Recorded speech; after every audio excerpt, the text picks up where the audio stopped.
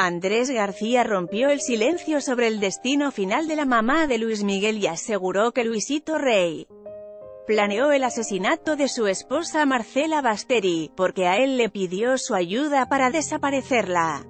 En entrevista con el programa Un Nuevo Día de Telemundo, el actor recordó que Luisito Rey le pidió que viajara a España porque Mickey tenía un problema serio, no, el problema era que él quería matar a Marcela, como murió la mamá de Luis.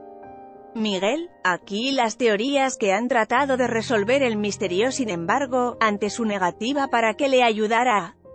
Este macabro plan, recurrió a otras personas y al final Marcela sí desapareció, lo que es más evidente para él actor, el que dude que él fue, está mintiendo, eso está más claro que el agua.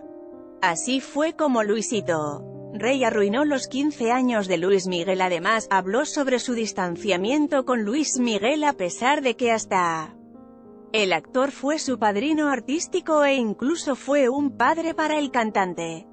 Afirmó que la fama transformó a El Sol, se volvió un mamón, entonces eso ya no lo acepto.